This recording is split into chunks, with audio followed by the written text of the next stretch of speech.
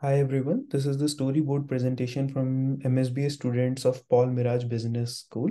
Uh, in this capstone project, we are working with Bill.com, which is a fintech company based out in San Jose.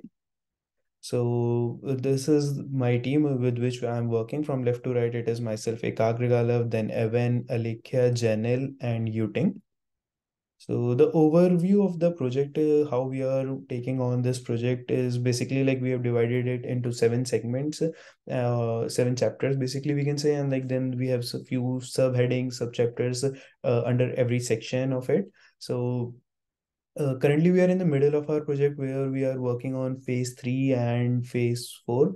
So just to give a brief idea about like what all chapter consists, I would like to start with the introduction, like where we had few initial calls with our clients where they introduce what exactly does bill.com do, what are they expecting from us what kind of a data set they have. Then we moved on to purpose of the project uh, and we deep dived with the with them uh, towards the data and like what is the exactly uh, what is the exact task of the clients from us what uh, we should do to give the best insights or the best deliverables to them uh, then to like once we started collecting all the things and we mapped the data well then we created a project plan how to take on the project and like how to divide it into multiple phases to get to our final deliverable in the desired time so basically, we split it into four main phases or main sections where we started with our initial analysis and we did some exploratory data analysis. We chose a few industries on which specifically we wanted to work. And from there, we pulled out few insights and like from where we started getting a picture what exactly is done and like how to take it forward to like give a better results. Then in phase two we used some uh, feature engineering where we did k-means clustering. We are collecting exogenous variables uh, to use them in phase three and like uh, what can be the insights from those k-means clustering and variables. So in phase three we are using different uh, techniques like linear regression moving average exponential smoothing SARIMAX, uh, dynamic regression to uh, get a, to come up with a good for time series forecasting technique and which can which had a least MAPE so that uh, we could have a good model and like better forecasting results.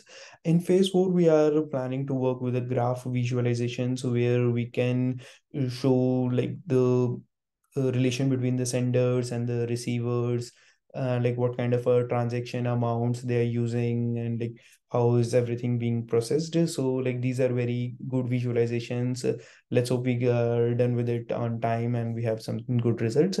So to start with, uh, this is the main purpose of our project where we are developing a 12 month forecasting uh, using different machine learning, programming, and maths techniques. So these are the two uh, NAICS 6 code that we have selected. One is in, with the semiconductor manufacturing, and another one is the insurance agencies and brokerage.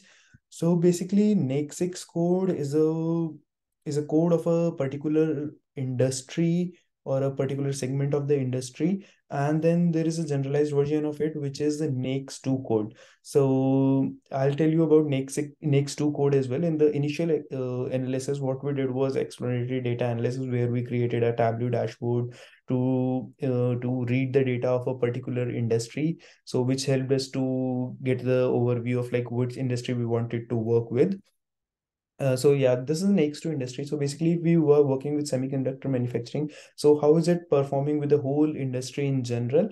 So and uh, on the other side, it is for the insurance agencies. So like as we got it, uh, as we found out, like semiconductor is doing well, whereas insurance is not doing pretty well. So in the feature engineering, we did some k-means clustering and we collected some extraneous variables. So this clustering is on the basis of recurring transactions then these are the vari- exogenous variables which we collected for a dynamic regression, which includes GDP, inflation rate, and employment, and number of working days. Then these are few results that uh, we have already implemented few time series forecasting, the seasonality effect of it.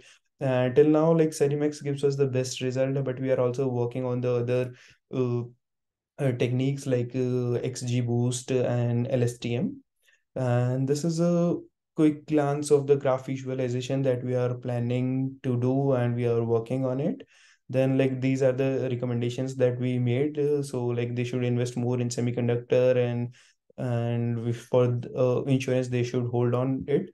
And let's hope we are we come up with better recommendations in uh, coming days. Thank you